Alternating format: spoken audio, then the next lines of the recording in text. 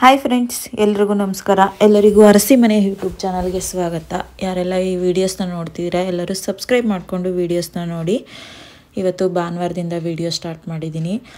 ಬೆಳಗ್ಗೆ ಡೈಲಿ ಬೆಳಗ್ಗೆ ನನ್ನ ಮಗಳೇ ಕಸ ಗುಡಿಸಿ ಒರೆಸಿ ಕೊಡ್ತಾಳೆ, ನಾನು ರಂಗೋಲಿ ಹಾಕ್ಕೊತೀನಿ ಸ್ಕೂಲ್ಗೆ ಹೋಗಲಿ, ಹೋಗದೆ ಇರಲಿ, ಯಾವಾಗಲೂ ಅವಳೇ ಕಸ ಗುಡಿಸಿ ಒರೆಸೋದು.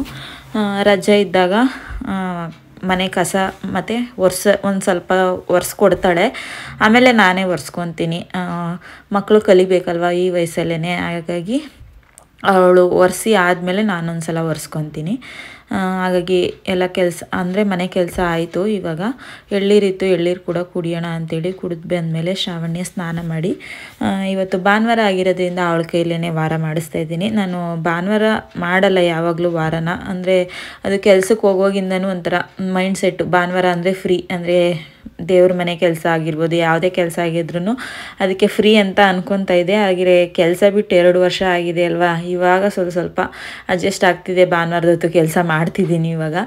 ಹಾಗಾಗಿ ನನಗೂ ಒಂದು ಗುರುಪ್ರವೇಶ ಕೂಡ ಇತ್ತು. ಅದಕ್ಕೆ ಹೋಗಬೇಕಾಗಿತ್ತು. ಅದಕ್ಕೆ ಎಲ್ಲ ರೆಡಿ ಕೂಡ ಆಗಿದ್ದೀನಿ. ಇವಾಗ ನಾನು ಬೆಲ್ದನ್ನ ಮಾಡ್ತಾಯಿದ್ದೀನಿ ಅದೇ ದೇವ್ರದ್ದು ಹಕ್ಕಿ ಇತ್ತು, ಹಬ್ಬದ್ದು. ಮತ್ತು ತೆಂಗಿನಕಾಯಿ ಕಳಸಕ್ಕೆ ಇಟ್ಟಿದ್ನಲ್ಲ, ಆ ತೆಂಗಿನಕಾಯಿ ಕೂಡ ಇತ್ತು. ಹಾಗಾಗಿ ನಾನು ಅದರಲ್ಲಿ ಬೆಲ್ದನ ಮಾಡೋಣ ಅಂತೇಳಿ ಮಾಡ್ತಾಯಿದ್ದೀನಿ ಶ್ರಾವಣಿಗೂ ತುಂಬ ಇಷ್ಟ ಆಗುತ್ತೆ. ಇವತ್ತು ಸ್ಕೂಲ್ ರಜಾ ಇರೋದ್ರಿಂದ ತಿಂತಾಳೆ ಅಂಥೇಳಿ ಮಾಡ್ತಾಯಿದ್ದೀನಿ ಆಯಿತು, ಇದೇನು ಸಿಂಪಲ್ಲು ಅಕ್ಕಿ, ಬೆಲ್ಲ, ಸ್ವಲ್ಪ ಹಾಲು ಒಗ್ಗರಣೆ ಹಾಕಿದ್ರೆ ಹಾಕ್ಬೋದು ಇಲ್ಲ. ಅಂದರೆ ಇಲ್ಲ ಇಷ್ಟು ಮಾಡಿ ಇವಾಗ ಇದನ್ನೇ ನಾನು ತಿಂಡಿಗೆ ಅಂತ ತಿನ್ಕೊತಾ ಇದ್ದೀವಿ. ನಮ್ಮ ಮನೆಯವರಿಲ್ಲ ಅವರು ಬೆಂಗಳೂರಿಗೆ ಹೋಗಿದ್ದಾರೆ. ಹಾಗಾಗಿ ನಮ್ಮಿಬ್ಬರಿಗೆ ಅಲ್ವಾ ಇದನ್ನೇ ತಿಂಡಿ ಥರ ತಿನ್ಕೊಂಡು ಬಿಡ್ತೀನಿ. ಇವಾಗ ನಾನು ಇಲ್ಲಿ ಹುಣ್ಸೆಹಣ್ಣು ಕೂಡ ತಗೊತಾ ಇದ್ದೀನಿ. ನಾನು ಒಂದು ತಿಂಗಳಿಗೆ ಹದಿನೈದು ದಿವಸಕ್ಕೆ ಆಗುವಷ್ಟು ಒಂದೇ ಸಲ ಹುಣ್ಸೆಹಣ್ಣ ಒಂಥರ ಪ್ಯೂರಿ ಥರ ಮಾಡಿ ಒಂದು ಬಾಕ್ಸ್ಗೆ ಹಾಕಿ ಎತ್ತಿಟ್ಕೊತೀನಿ. ಹಾಗಾಗಿ ನಾನು ಇಲ್ಲಿ ಹುಣಸೆಹಣ್ಣ ಬೆಳಗ್ಗೆನೇ ನೆನೆ ಹಾಕಿದ್ರೆ ಸಾಯಂಕಾಲ ಮಾಡ್ಕೋಬೋದು. ಇದನ್ನು ನೀಟಾಗಿ ವಾಶ್ ಮಾಡ್ಕೊತೀನಿ. ವಾಶ್ ಮಾಡಿ ಇದಕ್ಕೆ ನಾನು ಬಿಸಿನೀರು, ಅಂದರೆ ಸ್ವಲ್ಪ ಕುದಿಸ್ತೀನಿ. ಒಲೆ ಮೇಲೆ ಇಟ್ಬಿಟ್ಟು ಕುದಿಸ್ತೀನಿ. ಅದನ್ನು ಕುದಿಸ್ಬಿಟ್ಟು ಇಟ್ಬಿಡ್ತೀನಿ ನಾನು ಸಾಯಂಕಾಲ ತನಕ. ಆವಾಗ ನೀಟಾಗಿ ಅದು ನೆಂದಿರುತ್ತೆ. ಸಾಯಂಕಾಲಕ್ಕೆ ಅದನ್ನು ಕ್ಯೂಚಿ ಅದನ್ನು ಸ್ವಲ್ಪ ಬೇಯಿಸಿ ಒಂದು ಬಾಟಲ್ಗೆ ಹಾಕಿ ಇಟ್ಕೊತೀನಿ. ಈಗ ಮಾಡೋದ್ರಿಂದ ಸ್ವಲ್ಪ ಹುಣಸೆಹಣ್ಣು ಕೂಡ ವೇಸ್ಟ್ ಆಗಲ್ಲ. ಈಗ ನಾವು ಒಂದು ಅಡುಗೆಗೆ ಅಂತ ಒಂದಿಷ್ಟಪ್ಪ ಹುಣ್ಸೆಹಣ್ಣು ತೊಗೊತೀವಿ. ಅದನ್ನು ಕ್ಯೂಚಿ ಬಿಟ್ಟ ಮೇಲೆ ಸ್ವಲ್ಪ ಹುಣಸೆಹಣ್ಣು ಕೂಡ ವೇಸ್ಟ್ ಆಗುತ್ತೆ. ಹಾಗಾಗಿ ಈ ಥರ ಮಾಡಿ ಇಟ್ಕೊಂಡ್ರೆ ರೆಡಿಯಾಗಿರುತ್ತೆ ಒಂದು ಸ್ಪೂನಲ್ಲಿ ಎತ್ತಿ ಎಷ್ಟು ಸ್ಪೂನ್ ಬೇಕು ಅಷ್ಟು ಸ್ಪೂನ್ ಹಾಕೋಬೋದು ಹಾಗಾಗಿ ಈ ಥರ ಮಾಡಿ ಇಟ್ಕೊಂಡ್ರೆ ಯೂಸ್ ಆಗುತ್ತೆ. ಇದು ಶುಂಠಿ ಬೆಳ್ಳುಳ್ಳಿ ಪೇಸ್ಟು ಎಲ್ಲ ನಾನು ಅವಾಗವಾಗ, ಯಾವಾಗ ಖಾಲಿ ಆಗುತ್ತೋ ಅವಾಗ ಒಂದೊಂದು ಬಾಟ್ಲಲ್ಲಿ ಮಾಡಿ ಇಟ್ಕೊತೀನಿ. ಇವಾಗ ಇದನ್ನ ನಾನು ಕುದಿಸಿ ಇಟ್ಬಿಟ್ಟು ನಾನು ರೆಡಿಯಾಗಿ ಹೊರಟಿದ್ದೀನಿ ನಂದು ಮೇಕಪ್ ಅಂತ ಏನಿಲ್ಲ, ನಾನು ಸಿಂಪಲಾಗಿ ನಾನು ರೆಡಿ ಆಗೋದು ಒಂದು ಡ್ರೆಸ್ ಹಾಕ್ಕೊಂಡಿದ್ದೀನಿ ಮಾಮೂಲಿ ಇಯರಿಂಗ್ಸು ಸರ ಆ ಥರದ್ದು ಹಾಕ್ಕೊಂಡಿದ್ದೀನಿ ಶ್ರಾವಣಿಗೆ ಇಲ್ಲಿ ನಾನು ಲೆಹೆಂಗಾ ಹಾಕ್ಕೊಂಡಿದ್ದೀನಿ ಇದಕ್ಕೆ ಪಿಂಕ್ ಕಲರ್ ಲೆಹೆಂಗಾ ಇರೋದು, ಅದು ಸ್ವಲ್ಪ ಉದ್ದ ಇದೆ. ಮತ್ತು ಒಂದು ಸ್ವಲ್ಪ ಗ್ರ್ಯಾಂಡ್ ಅಂತಲೂ ಅನಿಸುತ್ತೆ, ಅದಕ್ಕೆ ನಾನು ಈ ಥರ ರೆಡಿ ಮಾಡಿದ್ದೀನಿ. ಅವಳಿಗೆ ಈ ಥರ ಹಾಕಿರೋದು ಇಷ್ಟ ಇಲ್ಲ ಫುಲ್ಲು ಸ್ಯಾರಿ ಥರನೇ ಹಾಕ್ಬೇಕಾಗಿತ್ತು ಅವಳಿಗೆ. ಹಾಗಾಗಿ ಅದರ ಮ್ಯಾಚಿಂಗು ಸ್ಲಿಪ್ಪರ್ ಕೂಡ ಹಾಕೊತಿದ್ದಾಳೆ. ಸ್ಲಿಪ್ಪರ್ ಏನೋ ತಗೊಬಿಡ್ತಾಳೆ, ಆದರೆ ಬೇಗ ಉದ್ದ ಹಾಕ್ತಾಳಲ್ವ ತುಂಡ ಆಗ್ಬಿಡುತ್ತೆ. ಅದಕ್ಕೋಸ್ಕರ ಬೇಜಾರು ಒಳಗೆ ಸ್ಲಿಪ್ಪರ್ ಕೊಡ್ಸೋದಕ್ಕೆ. ಆದರೂ ಹಠ ಮಾಡ್ದೇ ತಗೊತಿರ್ತಾಳೆ ಅವಾಗವಾಗ. ಈಗ ನಾವು ಗುರುಪ್ರವೇಶಕ್ಕೂ ಕೂಡ ಬಂದಿದ್ದೀವಿ. ಗುರುಪ್ರವೇಶ ಅಂದರೆ ಇವರು ನಮಗೆ ಪರಿಚಯ ಇರೋದು. ಇವ್ರು ಬಂದು ಬಿಸ್ನೆಸ್ ಮಾಡ್ತಾರೆ. ಅಂದರೆ ಮನೆ ಸೇ ಕಟ್ ಸೇಲ್ ಮಾಡೋದು, ಮನೆ ಕೊಡಿಸೋದು, ಮತ್ತು ಸೈಟ್ ಕೊಡಿಸೋದು, ಆ ಥರದ್ರಲ್ಲಿ ನಮಗೆ ಪರಿಚಯ ಆಗಿರೋದು. ನಾವು ತಗೊಂಡಿರುವಂಥ ಸೈಟ್ನ ಇವ್ರ ಮುಖಾಂತರನೇ ನಾವು ತಗೊಂಡಿದ್ದು. ಹಾಗಾಗಿ ಇವರು ಪರಿಚಯ ಇದ್ದರು ನಾನು ಇವ್ರು ಒಬ್ಬರೇ ಪರಿಚಯ ಇರೋದು ಇವಣ್ಣ ಅಂದರೆ ಚೆನ್ನಾಗಿ ಮಾತಾಡಿಸ್ತಾರೆ. ಅಂದರೆ ಇವ್ರ ಮಿಸ್ಸಸ್ಸು ಒಂದು ದಿವಸ ಎಲ್ಲ ಮೀಟ್ ಮಾಡಿದ್ದೀನಿ ಅಷ್ಟೇ ಹೋಗೋದೋ ಬೇಡವೋ ಅಂತ ಅನ್ಕೊತಾ ಇದೆ. ಅಷ್ಟರಲ್ಲಿ ನನಗೆ ಜೊತೆಗೆ ನನ್ನ ಫ್ರೆಂಡ್ ಅಮ್ಮನೂ ಕೂಡ ಸಿಕ್ಕಿದ್ರು ನನಗೆ. ಹಾಗಾಗಿ ಬಂದಿದ್ದೀನಿ ನಮ್ಮ ಮನೆಯವರು ಹೋಗು ಅಂತಲೇ ಹೇಳ್ಬಿಟ್ಟು ಹೋಗಿದ್ರು. ಹಾಗಾಗಿ ಬಂದೆ. ಅಂದರೆ ಚೆನ್ನಾಗಿ ಮಾತಾಡಿಸ್ತಾರೆ ಈ ಬಂದು. ಇಬ್ಬರು ಹೆಣ್ಮಕ್ಳು ಇವರಿಗೆ. ಇವಾಗ ಅವ್ರ ಮನೆ ದೇವರು ಏನೋ ಕೂರಿಸಿದ್ರು ಅಲ್ಲಿ. ನನಗೆ ಅಷ್ಟು ಗೊತ್ತಿಲ್ಲ ಯಾವ ದೇವರು ಅಂತ. ಅಲ್ಲಿ ಹಣೆಗೆ ಮತ್ತು ಮಂಗಳಾರತಿ ಎಲ್ಲ ಕೊಟ್ಟರು ಅದ್ರ ಜೊತೆಗೆ ಇವರು ಸತ್ಯನಾರಾಯಣ ಸ್ವಾಮಿ ಪೂಜೆ ಕೂಡ ಮಾಡಿಸಿದ್ದಾರೆ. ನಾನು ಸತ್ಯನಾರಾಯಣ ಸ್ವಾಮಿ ಪೂಜೆ ರಥ ಫುಲ್ಲು ನೋಡಿದ್ದು ಅಥವಾ ಕತೆ ಕೇಳಿದ್ದು ಅಂದರೆ ನನ್ನ ಫ್ರೆಂಡ್ ಮನೇಲೇ ನಾವು ಎಲ್ಲ ಮನೆ ಗುರುಪ್ರವೇಶಕ್ಕೆ ಹೋದಾಗ ಅಂದರೆ ಪೂಜೆ ಎಲ್ಲ ಮುಗಿದ ಮೇಲೆ ಹೋಗ್ತೀವಿ ನಾವು ಯಾವಾಗಲೂ ಸತ್ಯನಾರಾಯಣ ಸ್ವಾಮಿ ಪೂಜೆ ಮಾಡಿಸಿಲ್ಲ. ಹಾಗಾಗಿ ನಾನು ನನ್ನ ಫ್ರೆಂಡ್ ಮನೇಲಿ ಈಗ ಸ್ವಲ್ಪ ದಿನದಲ್ಲಿ ಹೋಗಿದ್ನಲ್ಲ, ಆವಾಗ ನಾನು ಫುಲ್ಲು ಕಥೆಯನ್ನು ಕೇಳಿದ್ದಂಥದ್ದು ಸತ್ಯನಾರಾಯಣ ಸ್ವಾಮಿ ಪೂಜೆ ಕೂಡ ಎಲ್ಲ ಆಗಿತ್ತು. ನಾವು ಹೋಗೋಷ್ಟರಲ್ಲಿ ಆಲ್ಮೋಸ್ಟ್ ನಾವು ಹೋಗೋಷ್ಟರಲ್ಲಿ ಲಾಸ್ಟ್ ಅಂತಲೇ ಹೇಳ್ಬೋದು. ನಾನು ಎರಡು ಗಂಟೆ ಹತ್ತತ್ರ ಹೋಗಿದ್ದು. ನಮ್ಮನೆ ಪಕ್ಕದಲ್ಲೇ, ಅಂದರೆ ಒಂದು ಎರಡು ಕಿಲೋಮೀಟ್ರ್ ಒಂದು ಕಿಲೋಮೀಟ್ರ್ ಆಗುತ್ತೆ ಅಷ್ಟೇ ಇದೇ ಮನೆ. ನನ್ನ ಫ್ರೆಂಡ್ ಮಗಳು ಬಂದಿದ್ಲು, ತನು ಅಂತೇಳಿ ಅವಳು ಕೈಯಲ್ಲಿ ವಿಡಿಯೋ ಮಾಡಿಸಿದ್ದೀನಿ ಮನೆಯದು ಅಂದರೆ ನಮಗೂ ಮುಜುಗರ ಅಲ್ವಾ? ಅಂದರೆ ಅವರ ರಿಲೇಟಿವ್ಸ್ ಯಾರು ಕೂಡ ಪರಿಚಯ ಇಲ್ಲ, ಅದರಲ್ಲಿ ಅವಣ್ಣ ಒಬ್ಬರೇ ಪರಿಚಯ ಇದ್ದಿದ್ದು. ಹಾಗಾಗಿ ತನು ಕೂಡ ಹೋಗಿ ವಿಡಿಯೋ ಮಾಡ್ಕೊಬಂದ್ಲು ಇದು ಉದ್ದ ಫಾರ್ಟಿ ಇದೆ ಅನಿಸುತ್ತೆ, ಅಗಲ ಟ್ವೆಂಟಿ ಇರಬೇಕು. ಸ್ವಲ್ಪ ಅಗಲ ಕಡಿಮೆ ಇದೆ, ಉದ್ದ ಇದೆ. ಇವರು ಎಂಟ್ರೆನ್ಸ್ಗೆ ಸೇಫ್ಟಿ ಲ ಎಂಟ್ರೆನ್ಸ್ಗೆ ಸೇಫ್ಟಿ ಡೋರ್ ಕೂಡ ಹಾಕ್ಸ್ಕೊಂಡಿದ್ದಾರೆ. ಮತ್ತು ಸುತ್ತ ಕೂಡ ಇವರು ವೆಂಟಿಲೇಷನ್ಗೆ ಜಾಗ ಕೂಡ ಬಿಟ್ಟಿದ್ದಾರೆ. ಹೀಗಿದೆ. ಇದು ಬಂದು ಫುಲ್ಲು ಎಲ್ಲ ಟೀ ಕುಡ್ಡಲ್ಲೇ ಮಾಡಿಸಿರುವಂಥದ್ದು ಡೋರ್ ಆಗಿರ್ಬೋದು ಕಿ ವಿಂಡೋಗೂ ಅಷ್ಟೇ ಅಂತೆ, ಟೀ ಕುಡ್ಡಲ್ಲೇ ಅಂತೆ ಮಾಡಿಸಿರುವಂಥದ್ದು.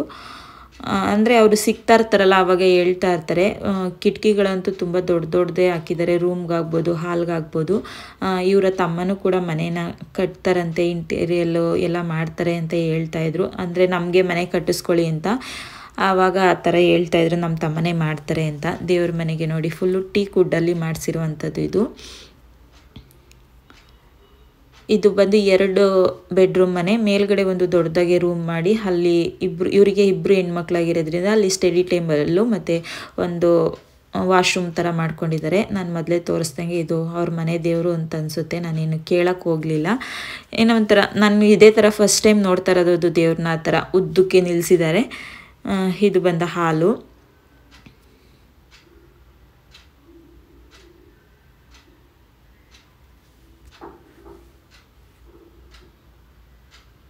ಇವಾಗಂತೂ ಒಬ್ರಿಗಿಂತ ಒಬ್ರು ಚೆನ್ನಾಗಿ ಮನೆ ಕಟ್ಟಿಸ್ತಾ ಇರ್ತಾರೆ. ಅದರಲ್ಲೂ ಇಟಾಲಿಯನ್ ಕಿಚನ್ ಆಗಿರ್ಬೋದು ಟಿ ಒ ಪಿ ಅಂತೂ ತುಂಬ ವೆರೈಟಿ ಡಿಸೈನ್ಗಳು ಟಿ ಒ ಪಿ ಮಾಡಿಸ್ತಾ ಇರ್ತಾರೆ. ಟಿ ವಿ ಸ್ಟ್ಯಾಂಡು ವಾರ್ಡ್ರೋಬ್ ಕೆಲಸನೂ ಅಷ್ಟೇ ಯೂನಿಕ್ಕಾಗಿ ಮಾಡಿಸ್ತಾ ಇರ್ತಾರೆ ಇವಾಗ. ಇದು ಬಂದು ಅಡುಗೆ ಮನೆ ಅಡುಗೆ ಮನೆ ಎಂಟ್ರೆನ್ಸ್ಗೆ ಒಂದು ಸೋಕೇಸ್ ಥರ ಮಾಡಿಸಿದ್ದಾರೆ ನನಗನ್ನಿಸ್ತು ಅಡುಗೆ ಮನೆ ಸ್ವಲ್ಪ ಚಿಕ್ಕದು ಅಂತ ಅನ್ನಿಸ್ತಾ ಇತ್ತು. ಆದರೆ ಅಡುಗೆ ಮನೆಗೂ ಕೂಡ ನಾಲ್ಕು ಕಿಟಕಿ ಇಟ್ಟಿದ್ದಾರೆ ಗಾಳಿ, ಬೆಳಕುಗೇನು ತೊಂದರೆ ಇಲ್ಲ. ಇಲ್ಲಿ ಮೂರಿನಲ್ಲಿ ಇಟ್ಟಿದ್ದಾರೆ ನೋಡಿ. ಆ ಕಡೆ ಇರುವಂಥದ್ದು ಫುಲ್ಲು ಎಕ್ಸ್ಪೆಂಡ್ ಥರ ಎಳೆದ್ರೆ ಎಲ್ಲಿ ಬೇಕಾದ್ರೂ ಬರುತ್ತೆ. ನೀಟಾಗಿ ಕ್ಲೀನ್ ಮಾಡ್ಕೋಬೋದು ಸಿಂಕ್ ಎಲ್ಲನೂ ಅಡುಗೆ ಮನೆ ಇದು. ಅಡುಗೆ ಮನೆಯಿಂದ ಹಾಲು ಈ ಥರ ಕಾಣಿಸುತ್ತೆ. ಟಿ ಒ ಪಿನೂ ಕೂಡ ಅಷ್ಟೇ ಚೆನ್ನಾಗಿದೆ. ಇದು ರೂಮು. ರೂಮ್ಗೆ ಒಂದು ಸಿಂಪಲ್ ಟಿ ಒ ಪಿ ಮತ್ತು ವಾರ್ಡ್ರೋಬ್ ಮಾಡಿಸಿದ್ದಾರೆ. ರೂಮ್ಗೂ ನೋಡಿ, ಎರಡು ಕಡೆಯೂ ಕಿಟಕಿ ಹಾಕ್ಸಿದ್ದಾರೆ. ಗಾಳಿ ಬೆಳಕಿಗೆಲ್ಲ ಚೆನ್ನಾಗಿದೆ ಇದು ವಾರ್ಡ್ರೋಬು. ಇವಳೆ ತಾನು ವಿಡಿಯೋ ಮಾಡ್ತಿದ್ದಾಳೆ. ಇದು ಒಂದು ರೂಮು. ದೇವ್ರು ಕೂರಿಸಿರೋದು ಒಂದು ರೂಮು. ರೈಲ್ವೆ ಟ್ರ್ಯಾಕು ಪಕ್ಕದಲ್ಲೇ ಇರೋದು. ಟ್ರೈನ್ ಕೂಡ ಹೋಗ್ತಾ ಐತೆ. ಮೇಲ್ಗಡೆ ಒಂದು ರೂಮು. ಇವರೇನು ಬಾಡಿಗೆಗೆ ಅಂತೇನು ಏನು ಮಾಡಿಸಿಲ್ಲ. ಇವರಿಗೆ ಅಂತಲೇ ಮಾಡಿಸ್ಕೊಂಡಿದ್ದಾರೆ. ರೂಮ್ ಮುಂದೆಗಡೆ ಎಲ್ಲ ಶೀಟ್ ಹಾಕ್ಸಿದ್ದಾರೆ. ಮತ್ತು ಪಾತ್ರೆ ತೊಳೆಯೋಕ್ಕೆ ಮತ್ತು ಬಟ್ಟೆ ಒಗೆಯೋಕ್ಕೆಲ್ಲ ಮಾಡಿಸ್ಕೊಂಡಿದ್ದಾರೆ. ನನಗೆ ಇಷ್ಟ ಆಗಿದ್ದೇನೆಂದರೆ ಈ ಮೇಲ್ಗಡೆ ರೂಮಲ್ಲಿ ಇವರು ಹಂಡೆ ಒಲೆ ಕೂಡ ಮಾಡಿಸಿದ್ದಾರೆ ಈಗ ಮನೆ ಕಟ್ಟೋರು ಯಾರೂ ಹಂಡೆ ಒಲೆ ಇರೋ, ಅಂದರೆ ಇರೋರು ಇವಾಗ ಎಲ್ಲ ಕಿತ್ತಾಕಿಸ್ಬಿಡ್ತಾ ಇದ್ದಾರೆ ಹಳೆ ಮನೆಗಳಲ್ಲಿ. ಇವರು ಇವಾಗ ಹಾಕಿಸ್ಕೊಂಡಿದ್ದಾರೆ ನನಗಂತೂ ಖುಷಿ ಆಯಿತು. ನನಗೂ ಕೂಡ ಹಂಡೆ ಒಲೆ ಅಂದರೆ ತುಂಬ ಇಷ್ಟ. ನೋಡಿ ಶ್ರಾವಣಿಗೆ ದಾವಣಿ ಹಾಕೊಡ್ಲಿಲ್ಲ ಅಂತೇಳಿ ಅವಳು ಅವಳ ಫ್ರೆಂಡ್ ಇಬ್ಬರು ಸೇರಿಕೊಂಡು ದಾವಣಿ ಮಾಡ್ಕೊಂಡಿದ್ದಾಳೆ ಊಟಕ್ಕೆ ಅಂತ ಹೋಗಿದ್ವಿ. ನನಗೆ ಇದು ಫಸ್ಟ್ ಟೈಮು ಹೆಸರುಬೇಳೆ ಪಾಯಸಗೆ ಪಾಸ್ತಾ ಹಾಕಿದ್ರು. ಎಲ್ಲಾದರೂ ಹೋದಾಗ ಒಂದೊಂದು ವೆರೈಟಿನ ನೋಡೇ ನೋಡ್ತೀವಲ್ವ? ಆಗ, ಆಗನ್ಸುತ್ತು ನನಗೀಗ ಹೆಸರುಬೇಳೆ ಪಾಯಸಗೆ ಪಾಸ್ತಾ ಹಾಕಿ ಮಾಡಿದರು. ಓಕೆ, ಚೆನ್ನಾಗಿತ್ತು ಅಂತ ಊಟ ಎಲ್ಲ ಮುಗಿಸ್ಕೊ ಬಂದಮೇಲೆ ಒಬ್ಬರು ಆಂಟಿ ಡ್ರೆಸ್ಸು ತುಂಬ ಉದ್ದ ಇತ್ತಂತೆ ಅವ್ರದ್ದು ಅರ್ಜೆಂಟು ಎಲ್ಲ ಹೋಗಬೇಕು ಅಂತೇಳಿ ಕಟ್ ಮಾಡಿಸಿದ್ರು. ಆ ಕಟ್ ಮಾಡಿ ರೆಡಿ ಮಾಡಿದ ಪೀಸಲ್ಲಿ ನಾನು ಒಂದು ಬ್ಯಾಗ್ ಕೂಡ ಸ್ಟಿಚ್ ಮಾಡಿಕೊಟ್ಟಿದ್ದೀನಿ ಅವ್ರಿಗೆ. ಅವರಂತೂ ತುಂಬ ಖುಷಿಪಟ್ಟರು ಈ ಥರದ ಬ್ಯಾಗ್ ವೀಡಿಯೋನ ನೆಕ್ಸ್ಟ್ ವೀಡಿಯೋದಲ್ಲಿ ನಾನು ಹಾಕ್ತೀನಿ. ಅಂದರೆ ಆ ಕಟ್ ಮಾಡಿದ್ನಲ್ಲ ನಾನು ಅವ್ರಿಗೆ ಉದ್ದ ಅನ್ನೋ ಎಷ್ಟು ಉದ್ದ ಕಟ್ ಮಾಡಿದ್ನಲ್ಲ, ಅದರಲ್ಲಿ ಹೊಲ್ದಿರುವಂಥ ಬ್ಯಾಗು ಇದು. ಎಷ್ಟು ಚೆನ್ನಾಗಿದೆ ನೋಡಿ. ಆ ಡ್ರೆಸ್ ಜೊತೆಗೆ ಆ ಬ್ಯಾಗ್ ಹಾಕ್ಕೊಂಡ್ರೆ ತುಂಬ ಹೈಲೈಟಾಗಿ ಕಾಣಿಸುತ್ತೆ. ನನಗೂ ಕೂಡ ಇಷ್ಟ ಆಯಿತು. ಅವ್ರಿಗೂ ಕೂಡ ತುಂಬ ಇಷ್ಟ ಆಯಿತು ಅದು. ನೆಕ್ಸ್ಟ್ ವೀಡಿಯೋದಲ್ಲಿ ನಾನು ಅದನ್ನು ತೋರಿಸ್ತೀನಿ. ಬೇರೆ ಪೀಸಲ್ಲಿ ಹೊಲಿದು. ನಾನು ಅಷ್ಟೊತ್ತಿಗೆ ಸಾಯಂಕಾಲ ನುಗ್ಗೆಕಾಯಿ ಫ್ರೈ ಮಾಡೋಣ ಅಂತೇಳಿ ಮಾಡ್ತಾಯಿದ್ದೀನಿ ಒಂಥರ ಗ್ರೇವಿ ಟೈಪ್ ಬರುತ್ತೆ ಇದು. ಚಪಾತಿ, ಅನ್ನ ಎಲ್ಲದಕ್ಕೂ ತಿನ್ಬೋದು. ಚೆನ್ನಾಗಿರುತ್ತೆ. ನಾನು ಅದಕ್ಕೆ ಇಲ್ಲಿ ನಾಲ್ಕು ಟೊಮೊಟೊ, ನಾನು ಜಾಮ್ ಟೊಮೊಟೊನ ಪೇಸ್ಟ್ ಮಾಡ್ಕೊಂಡಿದ್ದೀನಿ ನಾಲ್ಕನ್ನ. ಚೆನ್ನಾಗಿರುತ್ತೆ ಇದು ಸೈಡ್ಸ್ಗೆ ಅಂದರೆ ರಸಮ್ ಮಾಡಿಬಿಟ್ಟು ಅದು ಸೈಡ್ಸ್ಗೆ ಅಂತ ಮಾಡ್ತಾಯಿದ್ದೀನಿ ಇದನ್ನು ನಾನು ಬೆಳಗ್ಗೆ ನಾಳೆ ಬೆಳಗ್ಗೆಗೆ ಚಪಾತಿ ಜೊತೆಗೂ ಚೆನ್ನಾಗಿರುತ್ತೆ. ನಾನೀಗ ಅದೇ ಜಾರಿಗೆ ಒಂದು ಸ್ವಲ್ಪ ಬೆಳ್ಳುಳ್ಳಿ, ಲವಂಗ, ಚಕ್ಕೆ, ಮತ್ತು ಶುಂಠಿ, ಜೀರಿಗೆ, ಮೆಣಸು,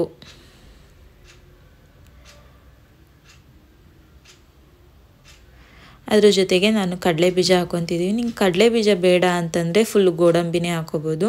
ಅದರ ಜೊತೆಗೆ ನಾನು ಸ್ವಲ್ಪ ಬಿಳಿ ಎಳ್ಳು, ತೆಂಗಿನಕಾಯಿ ತುರಿ, ಒಂದು ನಾಲ್ಕರಿಂದ ಐದು ಗೋಡಂಬಿನೂ ಕೂಡ ಹಾಕೊತಾ ಇದ್ದೀನಿ ಇಷ್ಟನ್ನು ನಾವು ನೀರಾಕಿ ನೀಟಾಗಿ ಪೇಸ್ಟ್ ಮಾಡ್ಕೋಬೇಕು. ಇದ್ರ ಜೊತೆಗೆ ಸ್ವಲ್ಪ ಧನಿಯಾ ಪೌಡರು. ಇದು ಧನಿಯಾ ಪೌಡರೇ, ಆದರೆ ಮಿಲ್ ಮಾಡಿಸ್ಬೇಕಾದ್ರೆ ನಾನು ಖಾರದ ಪುಡಿ ಆದಮೇಲೆ ಮಾಡಿಸಿರೋದಕ್ಕೆ ಅದು ಸ್ವಲ್ಪ ಕಲರ್ ಬಂದಿದೆ. ನನಗೆ ಇಲ್ಲಿ ಬಾಂಡಿ ಇಟ್ಕೊಂಡು ಅದಕ್ಕೆ ಸ್ವಲ್ಪ ಎಣ್ಣೆ ಹಾಕ್ಕೊಂಡಿದ್ದೀನಿ ನೀವು ಆದಷ್ಟು ನಾನ್ ಸ್ಟಿಕ್ಕಲ್ಲೇ ಮಾಡಿದ್ರೆ ಒಳ್ಳೆಯದು ಅಂದರೆ ಸ್ವಲ್ಪ ತವ ಇಡ, ಅಂದರೆ ತಳ ಹಿಡಿದ್ಬಿಡುತ್ತೆ ಇದು. ಹಾಗಾಗಿ ನಾನ್ ಸ್ಟಿಕ್ಕಲ್ಲೇ ಮಾಡ್ತಾಯಿದ್ದೀನಿ ಆದ್ರೂ ನಾನ್ ಸ್ಟಿಕ್ಕು ಸ್ವಲ್ಪ ಜಾಸ್ತಿ ಯೂಸ್ ಮಾಡಬಾರ್ದು ಅಂತ ಹೇಳ್ತಾರೆ. ಯಾಕಂದರೆ ಇದು ಪ್ಯಾಸ್ಲಿಕ್ಕಲ್ಲಿ ಇರುತ್ತೆ ಅಂತ ಹೇಳ್ತಾರೆ. ಏನು ಮಾಡೋಕ್ಕಾಗಲ್ಲ ಇರುವಂಥ ಪಾತ್ರೆನ ಯೂಸ್ ಮಾಡಬೇಕಲ್ಲ. ಹಾಗಾಗಿ ನಾನು ಒಗ್ಗರಣೆಗೆ ಸಾಸಿವೆ, ಜೀರಿಗೆ, ಕರಿಬೇವು, ಒಂದೆರಡು ಹಸಿರು ಮೆಣಸಿನ್ಕಾಯಿ ಇಷ್ಟನ್ನು ಹಾಕಿ ಸ್ವಲ್ಪ ಫ್ರೈ ಮಾಡ್ಕೊತಾ ಇದ್ದೀನಿ.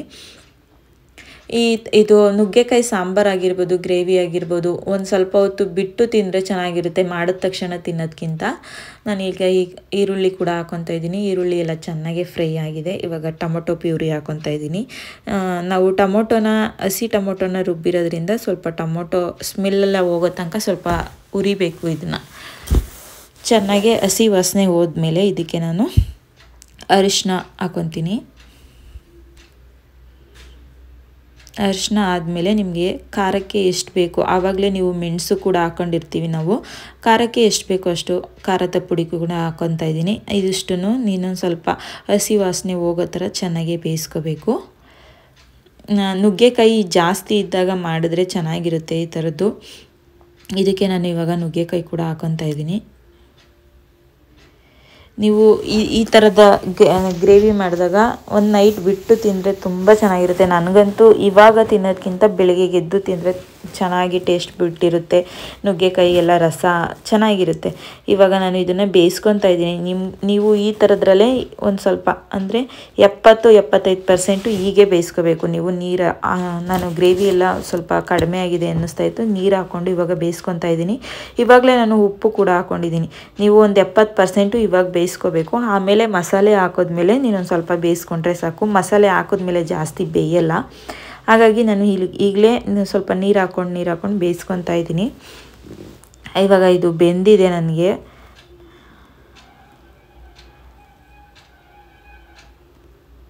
ಜಾಮ್ ಟೊಮೊಟೊ ಹಾಕಿರೋದ್ರಿಂದ ಏನು ಅಷ್ಟು ಹುಳಿ ಅನಿಸಲ್ಲ. ಅಂದರೆ ಹುಳಿ ಟೊಮೊಟೊ ಹಾಕೋರು ನೋಡಿಕೊಂಡು ಹಾಕೊಳ್ಳಿ. ಇವಾಗ ನಾನು ರುಬ್ಬಿಟ್ಟಿರುವಂಥ ಮಸಾಲೆ ಕೂಡ ಹಾಕೊತಾ ಇದ್ದೀನಿ. ನಾವು ಇಲ್ಲಿ ಎಳ್ಳು ಮತ್ತು ಕಡಲೆ ಬೀಜ ಹಾಕಿರೋದ್ರಿಂದ ಸ್ವಲ್ಪ ಡೇ, ಟೇಸ್ಟು ಡಿಫ್ರೆಂಟ್ ಅನಿಸುತ್ತೆ. ಈ ಹೆಣ್ಗಾಯಿ ಬದನೆಕಾಯಿ ಮಾಡ್ತೀವಲ್ಲ, ಆ ಥರದ್ರಲ್ಲಿ ಬರುತ್ತೆ. ಚೆನ್ನಾಗಿರುತ್ತೆ ಮಾತ್ರ. ಒಂದು ಸಲ ಟ್ರೈ ಮಾಡಿ ಹೇಳಿ ಹೇಗಿತ್ತು ಅಂತ ಟ್ರೈ ಮಾಡಿದ್ರೆ. ಯಾರೆಲ್ಲ ಈ ವಿಡಿಯೋಸ್ನ ನೋಡ್ತಿದ್ದೀರಾ, ಎಲ್ಲರೂ ಸಬ್ಸ್ಕ್ರೈಬ್ ಮಾಡಿಕೊಂಡು ವೀಡಿಯೋಸ್ನ ನೋಡಿ, ಹೀಗೆ ಸಪೋರ್ಟ್ ಮಾಡಿ ಅಂತ ಕೇಳ್ತಾ ಇದ್ದೀನಿ. ಇವಾಗ ನಾನು ಮಸಾಲೆ ಕೂಡ ಎಲ್ಲ ಹಾಕಾಗಿದೆ. ಸ್ವಲ್ಪ ನೀರು ಕೂಡ ಆ್ಯಡ್ ಮಾಡ್ಕೊತೀನಿ. ನಿಮಗೆ ಅನ್ನದ ಜೊತೆಗೆ ಬೇಕು ಅಂದರೆ ಸ್ವಲ್ಪ ಮಸಾಲೆ ಜಾಸ್ತಿ ಇರೋ ಥರ ನೋಡ್ಕೊಳ್ಳಿ. ಇಲ್ಲ ಬರೀ ಸೈಡ್ಸ್ಗೆ ಸಾಕು, ಅಂದರೆ ರಸಮ್ ಜೊತೆಗೆ ಆ ಥರದಕ್ಕೆ ಸಾಕು ಅಂದರೆ ಸ್ವಲ್ಪ ಮಸಾಲೆ ನೀರನ್ನು ಕಡಿಮೆ ಹಾಕ್ಕೊಂಡು ನೀವು ಅಡ್ಜಸ್ಟ್ ಮಾಡ್ಕೋಬೋದು. ಇವಾಗ ಇದನ್ನು ನಾನು ಕುದಿಯೋದಕ್ಕೆ ಅಂತ ಮುಚ್ಚಿಟ್ಬಿಡ್ತೀನಿ. ಈ ಟೈಮಲ್ಲಿ ನೀವು ಸ್ವಲ್ಪ ನೋಡ್ಕೊಬೇಕು ಅಂದರೆ ತಳ ಹಿಡಿದ್ಬಿಡುತ್ತೆ. ಹಾಗಾಗಿ ನೋಡ್ಕೊಳ್ಳಿ, ನಾನು ಆಲ್ರೆಡಿ ಒಂದು ಸ್ವಲ್ಪ ಉಪ್ಪು ಹಾಕಿದೆ. ಈಗ ಒಂದು ಸ್ವಲ್ಪ ಹಾಕ್ಕೊತೀನಿ ಇವಾಗ ಹಾಕ್ಬಿಟ್ಟು ನೀಟಾಗಿ ಮಿಕ್ಸ್ ಮಾಡಿ ಮುಚ್ಚಿಟ್ಬಿಡ್ತೀನಿ ಇದು. ಇವಾಗ ಇದು ಆಗಿದೆ. ಇದಕ್ಕೆ ನಾನು ಕೊತ್ತಂಬರಿ ಸೊಪ್ಪು ಹಾಕ್ಬಿಡ್ತೀನಿ. ಹಾಕಿ ಮಿಕ್ಸ್ ಮಾಡಿ ನಾನೊಂದು ಎರಡು ಅವರ್ ಆದಮೇಲೆ, ಅಂದರೆ ಈಗ ಸಾಯಂಕಾಲ ಒಂದು ಆರು ಗಂಟೆಗೆ ಮಾಡಿದ್ದೀನಿ. ಊಟ ಟೈಮ್ಗೆ ಸ್ವಲ್ಪ ಹಾರಿರುತ್ತೆ ಚೆನ್ನಾಗಿರುತ್ತೆ ಅಂಥೇಳಿ ಇವಾಗ ಇದನ್ನು ಮಿಕ್ಸ್ ಮಾಡಿದರೆ ಇಷ್ಟೇ ಫಿನಿಶ್ ಮುಗೀತಿದು. ಚೆನ್ನಾಗಿರುತ್ತೆ ಒಂದು ಸಲ ಟ್ರೈ ಮಾಡಿ ನೋಡಿ. ಇವಾಗ ಇದು ಆರಿದೆ ಕೂಡ. ನಾವು ಊಟ ಮಾಡೋಣ ಅಂಥೇಳಿ ರಸಮ್ ಕೂಡ ರೆಡಿಯಾಗಿದೆ ನಮ್ಮ ಮನೆಯವರು ಬರೋದು ಲೇಟು. ಅವರು ಬರೋದು ಒಂದು ರಾತ್ರಿ ಹತ್ತುವರೆ, ಹತ್ತು ಮುಕ್ಕಾಲು ಆಗಿಬಿಡುತ್ತೆ. ನಾನು ಅಷ್ಟರಲ್ಲಿ ಶ್ರಾವಣ್ಯ ನಾನು ಇಬ್ಬರು ಊಟ ಮಾಡ್ಕೊಬಿಟ್ಟಿರ್ತೀವಿ. ಅವ್ರು ಬಂದಮೇಲೆ ಅವರು ಊಟ ಮಾಡ್ತಾರೆ. ಊಟ ಮಾಡಿ ಆದಮೇಲೆ ನಾನು ಬೆಳಗ್ಗೆ ಹುಣಸೆಹಣ್ಣು ಕೂಡ ನೆನೆ ಹಾಕಿದೆ. ಅದನ್ನು ಕ್ಯೂಚಿ ಅದನ್ನು ಕೂಡ ರೆಡಿ ಮಾಡ್ಕೋಬೇಕು. ಊಟ ಎಲ್ಲ ಆದಮೇಲೆ ನಾನು ಇದನ್ನು ನೀಟಾಗಿ ಕ್ಯೂಚಿ ರಸ ತಗೊತಾ ಇದ್ದೀನಿ. ಈ ಥರ ನಾವು ಒಂದು half an hour time spend ಮಾಡಿಬಿಟ್ರೆ ಈ ಹುಣ್ಸೆಹಣ್ಣಿಗೆ ಅಂತ ನಾವು ಸಾಂಬಾರು ಮಾಡಬೇಕಾದ್ರೆ ಪುಳಿಯೋಗರೆ ಮಾಡಬೇಕಾದ್ರೆ ಏನೇ ಮಾಡಬೇಕಾದ್ರೂ ಹುಣ್ಸೆಹಣ್ಣು ಕಿವುಚೋದನ್ನ ಅಂದರೆ, ಆ ಟೈಮ್ ಉಳಿಯುತ್ತೆ. ಹಾಗಾಗಿ ನಾನಿಲ್ಲಿ ನೀಟಾಗಿ ಸೋಸಿ ಎಲ್ಲ ಅದನ್ನು ಸ್ವಲ್ಪ ಕುದಿಸ್ಬಿಟ್ಟು ಹಾರಕ್ಕೆ ಇಡ್ತೀನಿ. ಅದು ಕುದ್ದು ಆರಿದ್ಮೇಲೆ ನಾನು ಈ ಥರ ಒಂದು ಬಾಟಲ್ಗೆ ಹಾಕಿಟ್ಕೊತೀನಿ ಅದ್ರ ಜೊತೆಗೆ ನಾನು ಶುಂಠಿ ಬೆಳ್ಳುಳ್ಳಿ ಪೇಸ್ಟ್ ಕೂಡ ಖಾಲಿಯಾಗಿತ್ತು. ಅದನ್ನು ಕೂಡ ಮಾಡ್ಕೊತಾ ಇದ್ದೀನಿ. ಈ ವಿಡಿಯೋ ನಿಮಗೆ ಹೇಗೆ ಅನ್ನಿಸ್ತು ಅಂತ ಕಮೆಂಟ್ ಬಾಕ್ಸಲ್ಲಿ ಕಮೆಂಟ್ ಮಾಡಿ. ಪ್ಲೀಸ್ ಎಲ್ಲರೂ ಸಬ್ಸ್ಕ್ರೈಬ್ ಮಾಡಿಕೊಂಡು ವೀಡಿಯೋಸ್ನ ನೋಡಿ. Thank you